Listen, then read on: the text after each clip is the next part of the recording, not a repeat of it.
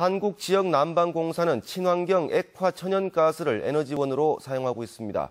하지만 대구지사는 여전히 대기 오염을 유발하는 중유를 사용하고 있어 문제가 되고 있는데요. 시정하겠다는 약속을 수년째 지키지 않고 있어 비난을 받고 있습니다. 양관희 기자가 취재했습니다. 대구 달서구 10만 가구에 난방열을 공급하는 한국지역난방공사 대구지사 발전소.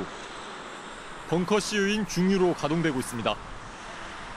중유는 액화 천연가스인 LNG보다 황산화물 1,500배, 미세먼지는 40배나 더 배출하는 것으로 알려져 있습니다.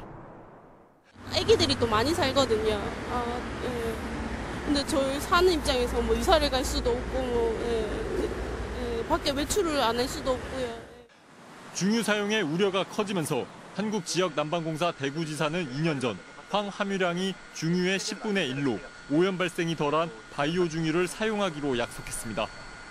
그러나 중유와 혼합해 사용했고 혼합률도 바이오 중유는 6.8%에 불과했습니다.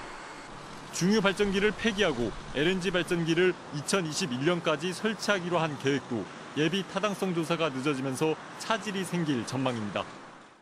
설비 개최를 빠른 시일 내에 할 수 있도록 좀 해야 되지 않겠냐 이런 생각이 들고 두 번째는 바이오 중력 혼소 비율도 좀 높여야 되지 않겠냐 이런 난방공사는 오염물질 저감 시설을 설치해 큰 문제가 없다는 입장입니다.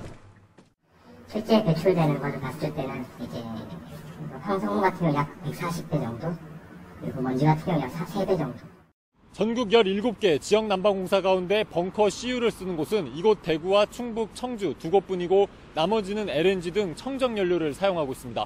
MBC 뉴스 양관입니다.